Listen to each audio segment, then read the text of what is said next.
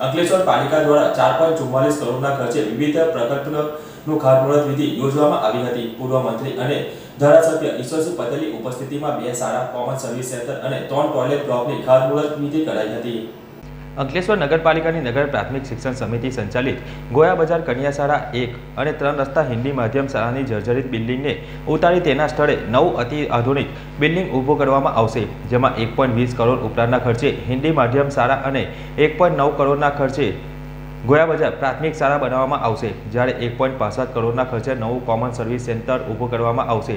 તો ઓગણપચાસ પોઈન્ટ ચાલીસ લાખના ખર્ચે નગરમાં ત્રણ સ્થળે ટોયલેટ બ્લોક ઊભા કરવામાં આવશે, જેની ખાતમુહૂર્ત વિધિ ત્રણ રસ્તા સર્કલ સ્ટેશન રોડ સ્થિત હિન્દી માધ્યમ શાળા ખાતે યોજવામાં આવી હતી. અંકલેશ્વર હાસોદ વિધાનસભા પૂર્વ મંત્રી અને ધારાસભ્ય ઈશ્વરસિંહ પટેલના હસ્તે ખાતમુહૂર્ત કરવામાં આવ્યું હતું. આ પ્રસંગે ચીફ ઓફિસર કેશવ કોલડિયા, પ્રમુખ વિનય વસાવા, ઉપપ્રમુખ કલ્પનાબેન મેરાઈ, કારોબારી ચેરમેન સંદીપ પટેલ, શિક્ષણ સમિતિના કિંજલબેન ચૌહાણ સહિત પાલિકાના સભ્યો અને આગેવાનો ઉપસ્થિત રહ્યા હતા. આ પ્રસંગે ધારાસભ્ય ઈશ્વરસિંહ પટેલે જણાવ્યું હતું કે શાળામાં ગુણવત્તાસભર શિક્ષણ સાથે આધુનિક શાળા સંકુલમાં બાળકો નિર્ભયતાપૂર્વક અભ્યાસ કરી શકે તે માટે બે શાળા સંકુલનું નિર્માણ અંકલેશ્વર શહેરમાં કરવામાં આવી રહ્યું છે. તો પાલિકા દ્વારા ચૌટા બજાર સરકારી દવાખાનાની બાજુમાં કોમન સર્વિસ સેન્ટર પણ ઊભું કરવામાં આવી રહ્યું છે, જેમાં સરકારશ્રીની વિવિધ યોજનાઓ સહિત અનેકવિધ પાલિકા લગતી સર્વિસ ઉપલબ્ધ થશે. તેમજ એક કોમન હોલ પણ નિર્માણ પામશે, જે નગરની સુવિધામાં વધારો કરશે. તો નગરના સર્વાંગી વિકાસ સાથે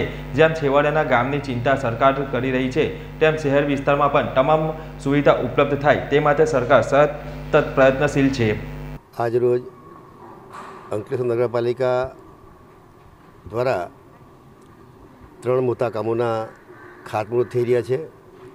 એમાં એક હિન્દી માધ્યમ સારા અને બીજી એક ગોયા બજારની સારા, plus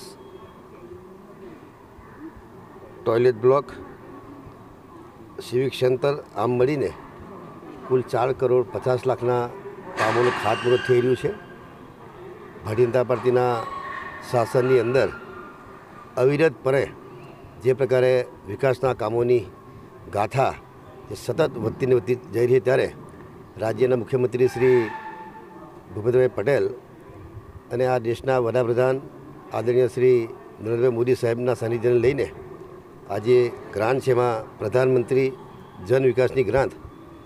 એ પૈકી સાહીઠ ટકા રકમ કેન્દ્ર સરકારની અને ચાલીસ ટકા રકમ ગુજરાત સરકારની આમ મળીને આજે અહીંયા સાડા ચાર કરોડના કામોના ખાતમુહૂર્ત થયા છે ત્યારે આવનારા દિવસોમાં શાળામાં ભણતા બાળકોને તેમજ અન્ય લોકો માટે પણ જન સુખાકારી માટેના જે કામો થઈ રહ્યા ત્યારે આવનારા દિવસોમાં આનાથી પણ વિશેષ કામો મિત્રો આવવાના છે.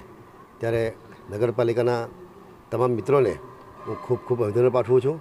આપ, આપના શાસનની અંદર ખૂબ સારી સેવા કરો એવી શુભેચ્છાઓ પાઠવું છું.